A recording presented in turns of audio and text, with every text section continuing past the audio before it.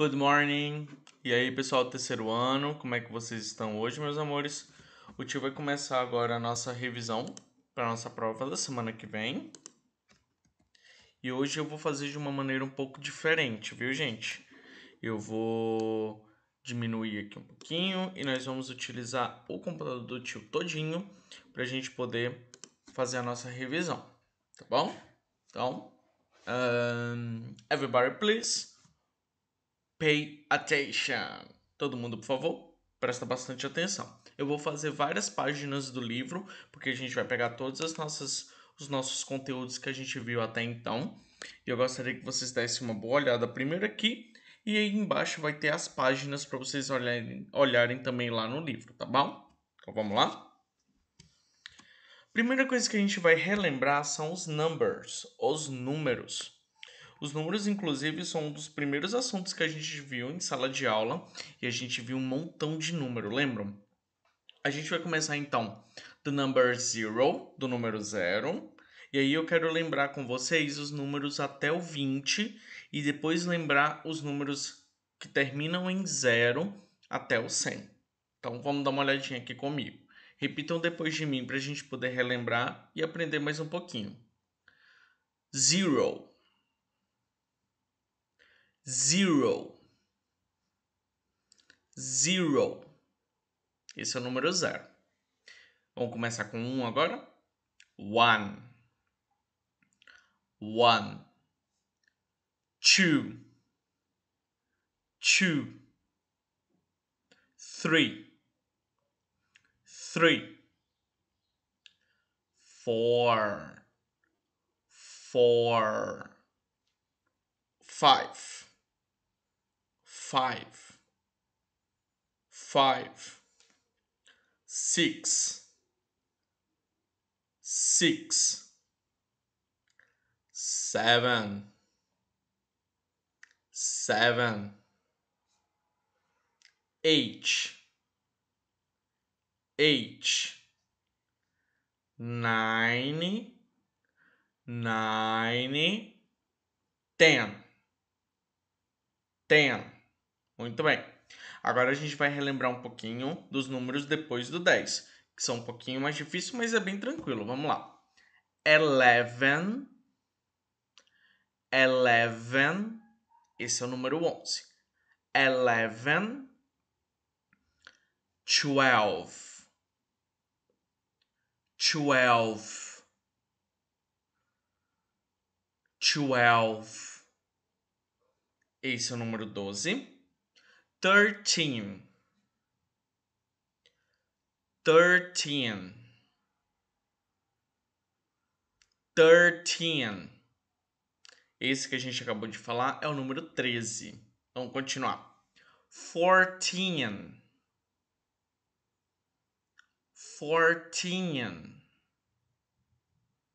Fourteen.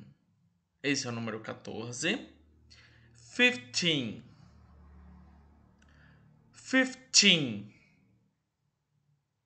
Fifteen. Esse é o número quinze. Sixteen. Sixteen. Sixteen.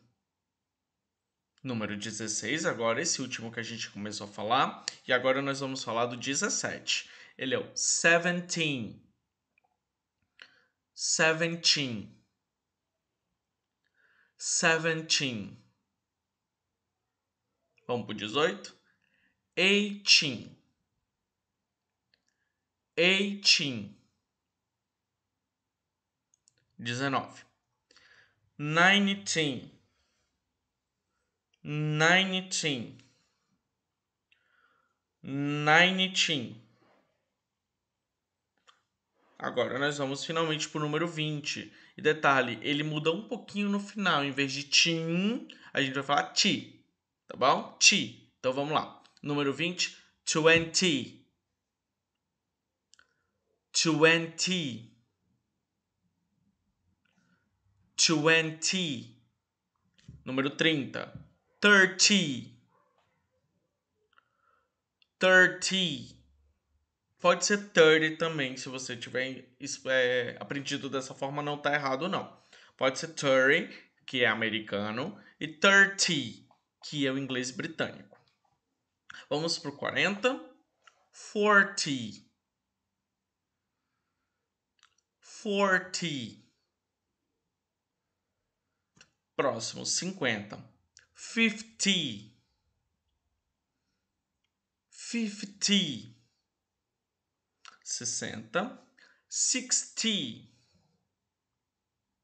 sixty, número setenta, seventy, seventy, número oitenta, eighty, eighty, eighty, número noventa ninety, ninety, ninety. O número 100 agora, ele é um pouquinho maior. Ele é o one, que é o número 1, um, que ele começa com o número 1. Um. Vamos lá, one.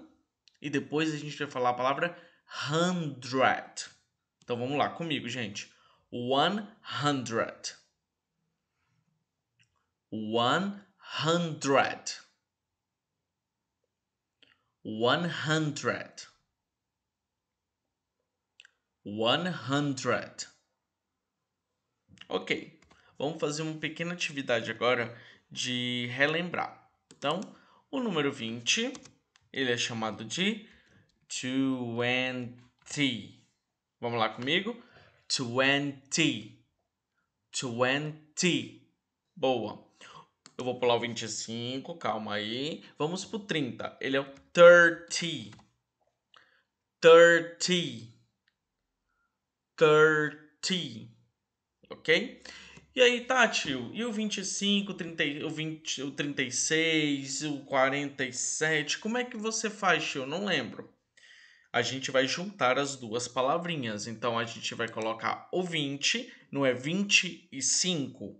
Então, a gente vai pegar o 20 twenty, vai colocar uma barrinha e vai escrever o número 5 em inglês. Five. Opa. Prontinho. Então, o número 25, ele vai ficar 25. Vai juntar o número 20 com o número 5. Então, vamos lá. 25. O número 20 é o 20. E o número 25 25. O número 30, 30. E o número 36? Então vamos lembrar. Primeiro a gente vai colocar o número 30. 30. Muito bem. Aí bota um tracinho. E qual é o número 6 em inglês? 6. Muito bem. Então, 36. 36. Como é que a gente fala 40 agora? Vamos lembrar. Ele parece com 4, 4 é o for, e tem que terminar com t, só que não tem u. Então é o 40, 40, 40, ok? E o 47, a gente começa com 40, então 40, faz o tracinho e coloca o número 7. Vamos lembrar como é que é o número 7? Hum, fala pra mim. Seven. Boa. Então, seven. Vamos lembrar do 100 agora? Eita, tio. É grande esse nome. É, é grande. Ele começa com o número 1, então, one. E o depois? Hundred. Hundred. Tá bom, tio. Beleza, 100. E se for 106? Como é que eu vou colocar isso? Não sei, não lembro. Calma. O que foi que o tio já falou? A gente vai colocar primeiro o primeiro número, que é o 100. Então, vamos lá. 100. E depois a gente vai colocar o 6. Como é que a gente vai fazer isso aqui agora? Olha só. 106. 106. 106. Tio, posso colocar um I606? Pode. Esse Ezinho aí a gente vai chamar de and. Só que ele é opcional, não precisa colocar. Se você não quiser. Se você quiser, coloca. E o número 115, tio, como é que a gente vai escrever? Primeiro vem o one, hundred, que é o 100, e depois a gente vai colocar o número 15. Número 15, vamos lá, vê se você lembra. Eu vou esperar um pouquinho para você lembrar. Eu escutei alguém falando 15 e tá correto. Então, o número é 115. Pode colocar esse mesmo AND, tio? Pode. Ele é opcional. Então, você pode colocar se você quiser, tá bom? Tudo bem? Vamos continuar? Próxima coisa que a gente viu foi os materiais escolares. Lembrem, lembram disso? A gente viu bastante material escolar. E eu quero relembrar com vocês como é que a gente vai chamar os materiais escolares. Então vamos lá. Eu vou usar isso aqui como nosso quadro, tá bom? Então vamos lá. Como é que a gente chama o caderno em inglês? Alguém lembra? Notebook. Notebook. Tio, mas notebook não é um, o computador? Em inglês, não. Em inglês, o nome do computador é chamado de laptop, ok? Então, tá bom, tio. Alguém lembra como é que a gente fala tesoura? É aquele que tem um nome esquisito de escrever. Isso. Scissors. Scissors. Scissors. Eu vou relembrar a pronúncia deles quando a gente terminar de escrever o nome de todo mundo. Caneta em inglês, gente. Parece com lápis. Só que eu não falei do lápis mas parece com a caneta. Só que eu não falei da caneta. Caneta em inglês a gente vai chamar ela de pen. Pen. E o lápis, pencil. Pencil. Aí agora tá bom. Então, quais foram as palavras, as palavras que a gente viu agora? Vamos relembrar, então vamos lá. Notebook. Notebook. Comigo, notebook. De novo, notebook. Boa. Vamos para tesoura. Scissors. Scissors. Scissors. Scissors. Boa. Próxima, gente, caneta. Pen. Pen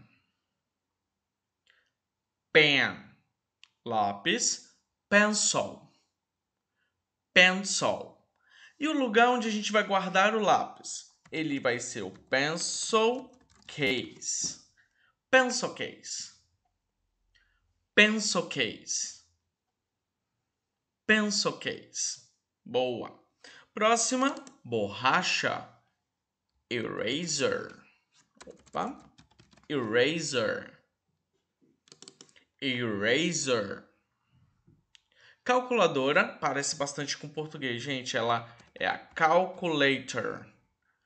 Calculator. De novo. Calculator. Calculator. Boa. Régua. Régua nós vamos chamar ela de ruler. Ruler. Ruler. Ruler. Boa. Maçã, que tem bastante na escola. Apple. Apple.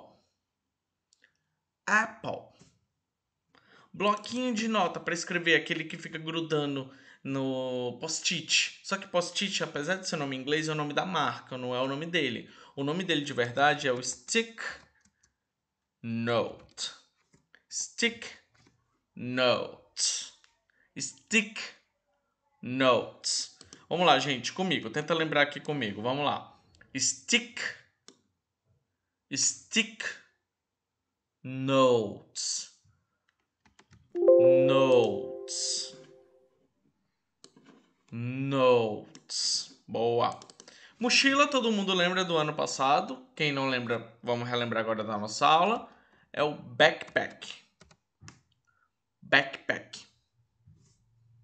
Backpack. Boa.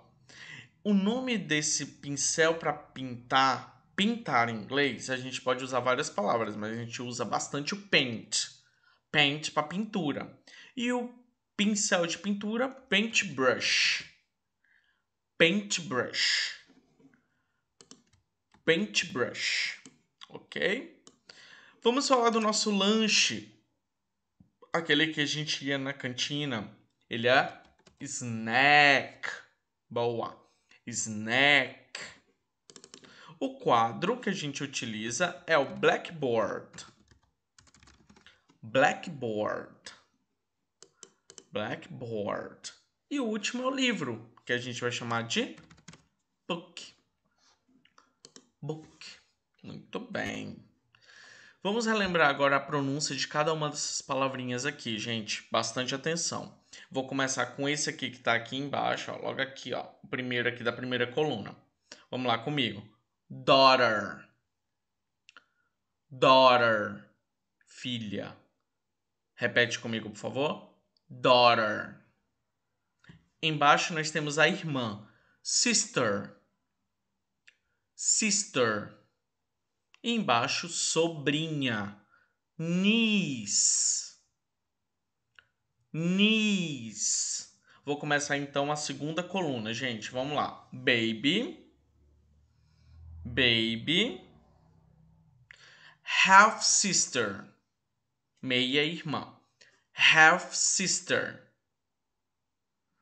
Embaixo, madrinha, nós vamos chamar de godmother. Godmother. Godmother. Boa. Embaixo, filha adotiva. Adoptive daughter. Eu sei, é grande. Vamos tentar de novo, parte por parte. Adoptive adoptive daughter. Daughter. Adoptive mother. Adoptive mother. E embaixo mãe. Mother. Mother. Terceira coluna gente. Grandmother. Avó. Grandmother grandmother. Embaixo nós temos a stepsister. Stepsister. Stepsister. Essa é a irmã postiça. Stepsister, igual as irmãs da Cinderela, depois que a madrasta chegou? Pois é. Stepsister. Embaixo, aunt.